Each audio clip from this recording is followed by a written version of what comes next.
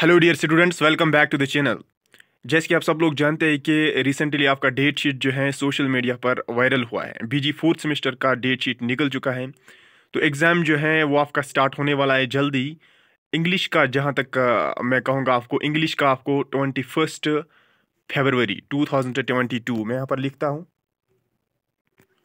जी हाँ twenty first February two thousand twenty two का जो डेट है यहाँ पर आपको बैच 2019 का जो इंग्लिश पेपर है BG fourth semester general English का एग्ज़ाम है। तब तक अभी बहुत टाइम है। जैसे कि आप सब लोग जानते हो कि रिसेंटली हमने बहुत सारे वीडियोस अपलोड किए हैं यूट्यूब चैनल पे बीजी फोर्थ सेमेस्टर के। स्पेशली जनरल इंग्लिश के हमने दो वीडियोस अपलोड किए हैं सिलेबस के अकॉर्डिंगली आज जो है वीडियो नंबर थर्ड है। तो सबसे पहले हम देखेंगे सिलेबस में हमने कौन कौन सा टॉपिक यहाँ पर कवर किया है। तो सबसे पहले यहाँ पर है travelling you extract why we travel by Pico Iyer इसमें हमने जो है एम सी क्यूज़ कवर किए हैं तो ये हमारा जो है यहाँ कंप्लीट है। और दूसरा यूनिट है prose extract from diary the diary of Anne Frank तो इसके भी हमने एम सी क्यूज़ कवर किए हैं। आज जो है वो तीसरे यूनिट का पहला टॉपिक है। क्या है वो हम यहाँ पर देखेंगे। तो यहाँ पर जो है यूनिट नंबर थर्ड है। यूनिट नंबर थर्ड में हम आज की पॉइंट्स देखेंगे की पॉइंट्स की पॉइंट्स डिस्कस करेंगे। की पॉइंट्स और एम uh, में फ़र्क होता है। एक की पॉइंट में हम तीन एम को एक ही साथ कह सकते हैं और एम में क्या होता है इसमें चार ऑप्शंस होते हैं। यहाँ पर ऑप्शंस नहीं होंगे मैं डायरेक्टली पढ़ूँगा और अंडरलाइन करूँगा जो भी इंपॉर्टेंट बात होगी। तो वो हम की पॉइंट्स में यहाँ पर देखेंगे। मैंने की पॉइंट्स ही तैयार किए हैं। एम में क्या होता है कि इसमें टाइम ज़्यादा लग जाता है कहने में और की पॉइंट्स में हम डायरेक्टली पढ़ते हैं और समझाते हैं। और यूनिट नंबर थर्ड में आज हम कवर करेंगे identity identity card by Mahmoud Darwish जी हाँ आईडी कार्ड बाय महमूद दरवेश जो यहाँ पर आपका टॉपिक है। यूनिट नंबर थर्ड में पहला टॉपिक है, इसमें हम की पॉइंट्स देखेंगे। उसके बाद दूसरे वीडियो में हम digging Seamus Heaney this is a photograph of me a moment Margaret Atwood तो इनके एम देखेंगे। फ़िलहाल जो है, इस वीडियो में हम unit number third chapter number first identity card by Mahmoud Darwish इसके कुछ की पॉइंट्स देखेंगे। तो चलिए हम स्टार्ट करते हैं without wasting of time before we start this video अगर आप इस चैनल पर नए हैं तो इस चैनल को सब्सक्राइब कीजिए और वीडियो को ज़्यादा से ज़्यादा लाइक कीजिए। तो चलिए हम स्टार्ट करते हैं पहले पॉइंट से। स्टार्ट करने से पहले अगर आप लोगों ने पहले दो पार्ट्स uh, नहीं देखे हैं जनरल इंग्लिश के unit number first and second का वो भी उनकी भी लिंक मैं यहाँ डिस्क्रिप्शन में दूँगा। जाकर पहले वो भी देख लीजिए और uh, फिर आप unit number third chapter number first के की पॉइंट्स भी देख सकते हो। तो चलिए हम स्टार्ट करते हैं। ये की पॉइंट जो है, ये मैंने दी दीज और हैंड मेकड ये मैंने हाथों से लिखे हैं। तो हम स्टार्ट करते हैं आज का जो ये टॉपिक है आईडी कार्ड है। यहाँ पर मैंने लिखा है ID card by Mahmoud Darwish तो महमूद दरवेश ने लिखा है आईडी कार्ड किसने लिखा है? महमूद दरवेश ने। तो इसके कुछ की पॉइंट्स देखेंगे हम, जो कि आपके एग्ज़ाम में काफ़ी इंपॉर्टेंट काफ़ी हेल्प करने वाले हैं। तो पहला पॉइंट जो मैंने यहाँ पर लिखा है Mahmoud Darwish was born in thirteen of March 1941 जी हाँ महमूद दरवेश 1941 में पैदा हुए हैं। Thirteen March 1941 and was died in 9 August 2008 तो यहाँ पर देखो क्वेश्चन कैसे बन सकता है। Mahmoud Darwish was born in dash dash नीचे ऑप्शन में वो चार ऑप्शन हो गए चार ऑप्शन में एक ऑप्शन ये भी होगा थर्टीन मार्च 1941 और मैंने एक ही पॉइंट में दो क्वेश्चन आपको बताए हैं और यहाँ पर मैंने दूसरा भी बताया and he was died in nine August 2008 मे भी ऐसा क्वेश्चन आ सकता है। When was Mahmoud Darwish died nine August two thousand eight तो यही होता है की पॉइंट्स का मेन मकसद। तो दूसरा पॉइंट मैंने यहाँ पर लिखा है तो पहला पॉइंट यहाँ पर हमने कवर किया है और दूसरा पॉइंट जो है that is Mahmoud Darwish was regarded as Palestinian national point तो ये काफ़ी इंटरेस्टिंग क्वेश्चन है, बहुत बार एग्ज़ाम में पूछा गया है। Which among the scholar has regarded as Palestinian national point तो कौन है महमूद दरवेश? क्वेश्चन को किसी भी तरह से पूछा जा सकता है। यहाँ पर आपको सिर्फ़ अंडरस्टैंड करने की कोशिश करनी है। तो तीसरा पॉइंट मैंने यहाँ पर लिखा है। Mahmoud Darwish was awarded Mahmood दरवेश जो है, उसको अवार्ड भी मिले हैं। बहुत सारे अवार्ड हैं। उनमें से कुछ अवार्ड जो हैं, वो ये भी हैं। मैं स्क्रीन पर मैंने लिखे हैं। मैं बताता हूँ आपको। तो ये जो है, आपकी स्क्रीन पर हैं। महमूद दरवेश वॉज़ अवार्डेड मैंने पहले कहा आपको कौन कौन सा अवार्ड उसको मिला है? पहला अवार्ड जो यहाँ पर मैंने लिखा है that is lotus prize for literature जी हाँ लोट्स प्राइज फॉर लिटरेचर जो है अवार्ड मिला है महमूद दरवेश को। कब मिला है? 1969 में। कब? 1969 में from the Afro Asian writers association Afro Asian writers association देखो क्या होता है, अगर मैं यहाँ पर एमसीक्यू की तरह आपको बताता हूँ तो यहाँ पर ऐसे क्वेश्चन आ सकता है। महमूद दरवेश वॉज़ अवॉर्डेड नीचे ऑप्शन में होगा लोट्स प्राइज लिटरेचर और भी कहीं सारे। तो यहाँ पर मैंने एक ही पॉइंट में मैंने आपको चार ऑप्शन चार क्वेश्चन बताए। देखो कैसे? लोट्स प्राइज फॉर लिटरेचर ठीक है, मिला है। अब ये भी आ सकता है, कब मिला है? 1969 में ये भी आ सकता है, किन की तरफ़ से मिला है? उनको ये जो lotus for lotus prize for literature जो है महमूद दरवेश को जो ये अवार्ड मिला है 1969 में, ये उनको एफ्रो एशियन राइटर्स एसोसिएशन की तरफ़ से मिला है। और दूसरा अवार्ड यहाँ पर मैं बताता हूँ आपको that is the knight of the order the knight of the order of arts and letters ये ऑर्डर्स नहीं है ऑर्डर यहाँ पर थोड़ा मिस्टेक हुआ है। The knight of the order of arts and letters तो ये अवार्ड उसको 1993 में मिला है फ्रॉम फ्रांस फ्रांस से मिला है 1993 में। और तीसरा मैं यहाँ पर बताता हूँ आपको the Lannan foundation prize for cultural freedom 2001 में उसको मिला है। तो ये कुछ इंपॉर्टेंट अवार्ड्स हैं जो उसको मिले हैं। और भी कई सारे अवार्ड्स मिले हैं। उनमें से जो मोस्ट इंपॉर्टेंट काफ़ी अच्छे हैं, कीमती अवार्ड हैं, वो ये तीनों थे। तो इनको आप याद रखिएगा। इनमें से कोई भी एक पूछा जा सकता है आपके एग्ज़ाम में।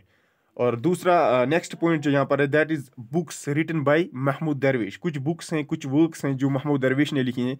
उन उनमें से कौन कौन सी बुक्स आती हैं जो कि महमूद दरवेश ने खुद लिखी है? तो वो हम यहाँ पर देखेंगे। जी हाँ बुक्स रिटन बाय महमूद दरवेश या हम कैसे हैं? Works written by works of Mahmoud Darwish इनमें से सबसे पहले यहाँ पर आता है wingless birds wingless birds is a book written by Mahmoud Darwish इसी तरह से दूसरा आता है यहाँ पर leaves of olives leaves of olives एक कलेक्शन है जो कि महमूद दरवेश ने लिखी है। और तीसरा यहाँ पर है the end of the night the end of the night भी एक बुक है जो कि महमूद दरवेश ने लिखी है। अब तीसरा पॉइंट मैं यहाँ पर आपको बताता हूँ। The poem I D card is published in 1964 in his collection olive leaves olive leaves जो हैं, ये जो पोएम है आईडी कार्ड जो हम यहाँ पर जो आईडी कार्ड आपका जो मेन टॉपिक है तो ये पोएम जो है, ये जो महमूद दरवेश ने लिखी है, ये किसमें आता है, ये उसने किस बुक से, किस बुक में मेंशन की है, उस बुक का नाम है ऑलिव लीव्स ऑलिव लीव्स जो हैं, ये कलेक्शन ऑफ़ पोएम्स हैं, जिसमें एक पोएम ये भी है आईडी कार्ड जो कि महमूद दरवेश ने लिखी है, इसमें बहुत सारी पोएम्स है एक ये भी है आईडी कार्ड तो ये जो है ऑलिव लीव्स ये किसने लिखी है? महमूद दरवेश ने। और ये जो आईडी कार्ड है, ये पब्लिश हुई हैं ऑलिव लीव्स में 1964 में। ये भी आप यहाँ पर याद रखिएगा, काफ़ी इंटरेस्टिंग पॉइंट है ये। और नेक्स्ट पॉइंट है the central theme of the poem is the central theme of the poem ये किस पोएम की हम बात करते हैं? ID card written by Mahmoud Darwish. तो इसकी जो सेंट्रल थीम है, वो क्या है? Identity and identity and operation identity and operation is the central theme of the poem id card. And the next point, the poem id card can be read as dissent poem इसको हम decent poem भी कह सकते हैं। इसको हम poem expressing griefs भी कह सकते हैं। इसको हम पोएम एक्सप्रेसिंग वायलेंस भी कह सकते हैं।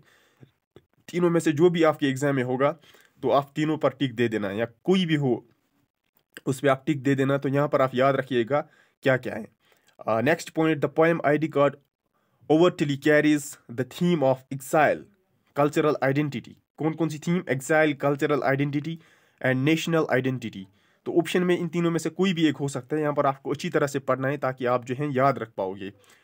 तो आगे बढ़ते हैं हम। Next point is the poem ID card is written in the form of ये किस फॉर्म में लिखी गई है? कन्वर्सेशन में। कन्वर्सेशन में ये लिखी गई है। यहाँ पर काफ़ी इंटरेस्टिंग पॉइंट है तो मैंने बता दिया आपको। The poem ID card is written in the form of conversation option में बहुत सारे होंगे तो यहाँ पर कन्वर्सेशन जो है, ये इसका राइट आंसर बनेगा। तो आप याद रख लीजिएगा।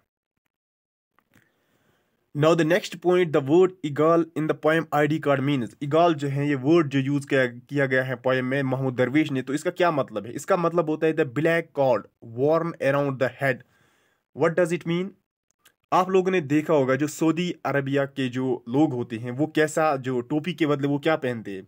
वो एक बड़ी सी जो होता है वो सर पे वो टोपी के बदले से वो वो पहनते हैं। उस पर एक ब्लैक कलर का रिंग होता है, ऊपर टोपी पे। तो उसको हम कहते हैं ईगल।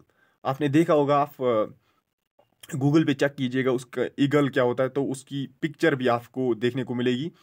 टोपी के किस्म का होता है और ऊपर जो है, उस पर एक ब्लैक रिंग लगा होता है, उसको हम कहते हैं eagle. The black cord worn around the head. Kasab की तरह, जो कश्मीरी में कसाब होता है, उसी तरह। उसके ऊपर ब्लैक रिंग होता है, उसको हम कहते हैं eagle next point write it down write it down जो है this is this line is repeated throughout the identity card to express the points frustration तो अगर आपने जो आईडी कार्ड का जो टेक्स्ट है ऊपर से नीचे तक, उसमें एक लाइन जो है रिपीटेडली इस्तेमाल की गई है. That is write it down लिखो I am an Arab write it down I am an Arab या राइट इट डाउन ही यहाँ पर लिखा है तो राइट इट डाउन जो है, ये लाइन आईडी कार्ड जो पोएम है, उसमें ऊपर से नीचे तक रिपीटेडली पूछी गई है। हर स्टेंजा को स्टार्ट करने से पहले ये लाइन होता है राइट इट डाउन तो इससे क्या है कि पॉइंट्स फ्रस्ट्रेशन फ्रस्ट्रेशन एक्सप्रेस होता है तो ये यहाँ पर काफ़ी इंटरेस्टिंग पॉइंट है। Next point in the poem ID card the poet himself says I am an Arab जो पोएम आईडी कार्ड है, इसमें ये भी कहा जा सकता है कि in the poem ID card the poet himself says dash dash I am an Indian I am an Arab I am an South Asian तो उसने खुद कहा है I am an Arab write down I am an Arab उसने खुद को बोला है कि मैं अरबिया हूँ।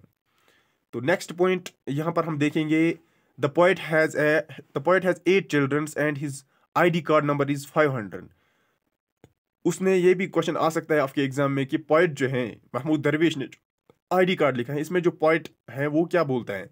उसके कितने चिल्ड्रंस है उसके आठ चिल्ड्रंस होते हैं और एक जो है, वो आने वाला होता है। जो, यानी उसकी जो बीवी है, वो प्रेगनेंसी में होती है। तो आठ बच्चे उसके होते हैं और नौवा बच्चा जो है, वो आने ही वाला होता है। तो प्रेजेंटली उसके आठ बच्चे हैं and his ID card number is five thousand sorry fifty thousand उसका आईडी कार्ड नंबर होता है, जो उसको आईडी कार्ड मिलता है इसराइल में। तो उसका नंबर होता है वहाँ पर उसको। फिफ्टी थाउज़ेंड उसका नंबर होता है। तो ये यहाँ पर इंटरेस्टिंग क्वेश्चन बन सकता है। तो चलिए हम आगे बढ़ते हैं। Next point in the poem ID card ID card जो पोएम है, इसमें the poet compares his house with poem ID card में जो पॉइंट होता है, वो अपने घर को किस चीज़ के साथ कंपेयर करता है? वॉचमैनस हट वॉचमैनस हट जो होता है, यानी जो झूंपड़ी होती है, उसका घर, वो बोलता है कि मैं बहुत गरीब हूँ, मेरा घर जो है, वो झूंपड़ी की तरह है। तो उसका वॉचमैन जो है उसके वॉचमैन की झूंपड़ी की तरह मेरा घर है, उसी के साथ वो कंपेयर करता है वॉचमैन हट इसके साथ वो अपने घर को कंपेयर करता है। नेक्स्ट क्वेश्चन मैंने यहाँ पर इंटरेस्टिंग क्वेश्चन लिखा है। हो सकता है इस प्रकार के क्वेश्चन आपके एग्ज़ाम में पूछे जाएँगे। तो क्वेश्चन जो यहाँ पर है that is complete the following line एक लाइन दी हुई है, इसमें एक लाइन मिस हुई है तो उसको हमने कंप्लीट करना है। Write down write down dash dash दूसरी लाइन क्या आएगी इसमें? Option A I am an Indian option B I am an Arab option C I am an English option D none of the मैंने ऊपर आपको बताया था कि पोइट ने जो है, एक लाइन जो है रिपीटेडली पोएम में इस्तेमाल की हुई है। तो इससे आपका क्वेश्चन एक बन भी सकता है। तो यहाँ पर मैंने बोला आपको complete the following line line दी हुई है, इसको कंप्लीट करना है। राइट डाउन ठीक है। उसने कहा है राइट डाउन और दूसरा क्या कहा था उसने? आई एम एन अरब तो ऑप्शन बी यहाँ पर इसका राइट आंसर बनेगा। Write down I am an Arab तो नीचे लाइन में आई एम एन अरब लिखना है। उसने खुद एक्सप्रेस किया है। डियर स्टूडेंट्स आई होप कि आपको वीडियो अच्छा लगा हो। अगर अच्छा लगा हो तो वीडियो को ज़्यादा से ज़्यादा लाइक और शेयर कीजिए। थैंक यू मिलते हैं नेक्स्ट वीडियो में। तब तक के लिए बाय एंड टेक केयर